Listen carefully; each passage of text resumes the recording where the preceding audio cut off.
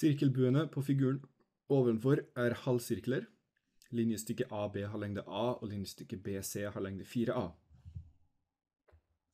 Og det ser vi jo stemmer ganske greit med figuren. Så det her er altså en halvsirkel. Det på innsida her er en halvsirkel. Veldig lurt å bruke gult på hvitt, føler jeg. Og den lille greia her er også en halvsirkel. For vi skal først og fremst bestemme omkretsen av det blå området på figuren uttrykt ved A. Så omkretsen, det vil da bli lengda av den sirkelbuen her. Lengda av den sirkelbuen her, pluss lengda av den store sirkelbuen. Prøv så godt jeg kan å gjøre det litt pent. Pluss omkretsen av den lille sirkelbuen her. Det er jo til sammen omkretsen av hele den blå figuren. Så hva er omkretsen av en halvsirkel? Vel, omkretsen av en sirkel er jo 2 pi ganger radien. Så omkretsen av en halvsirkel må jo da være halvparten av 2 pi r, som bare er pi r. Og siden alt dette er halvsirkler, så trenger vi bare det. Så la oss starte med den indre halvsirkelen her. Den her er for så vidt også en indre halvsirkel, vel å merke, men la oss bare kalle den her for den indre halvsirkel, så vi kaller den for I. Så omkretsen av I vil være lik pi ganger radien til den halvsirkelen. Så det blir pi ganger, og hva er radien til den halvsirkelen her?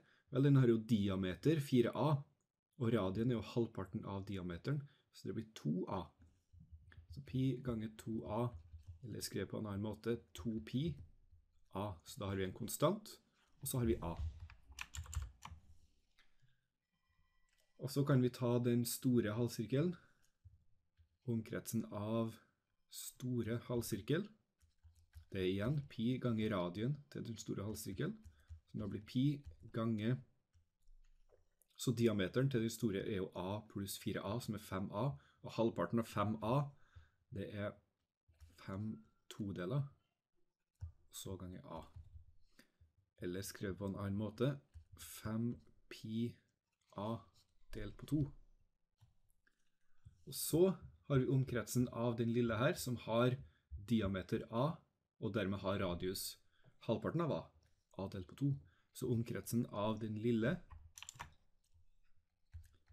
som alltid, pi ganger radien, så pi ganger a delt på 2, eller pi a delt på 2. Så omkretsen av hele den figuren vil jo bare da være summen av de her tre.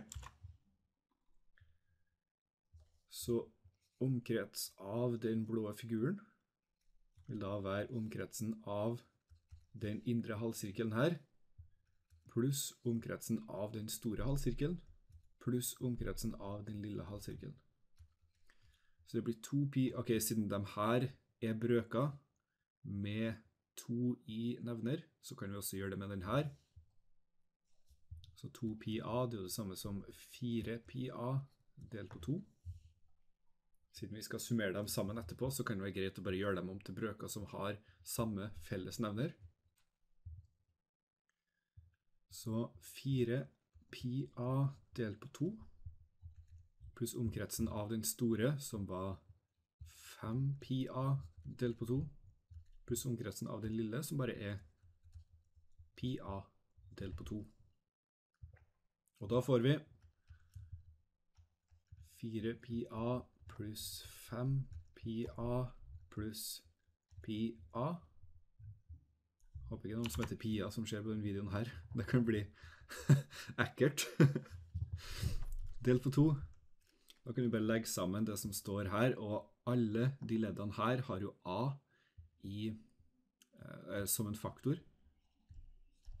Så da har vi på innsida 4 pi pluss 5 pi pluss pi delt på 2, som da blir 4pi pluss 5pi pluss pi, det er jo 10 pi a delt på 2. Eller bare 5 pi a.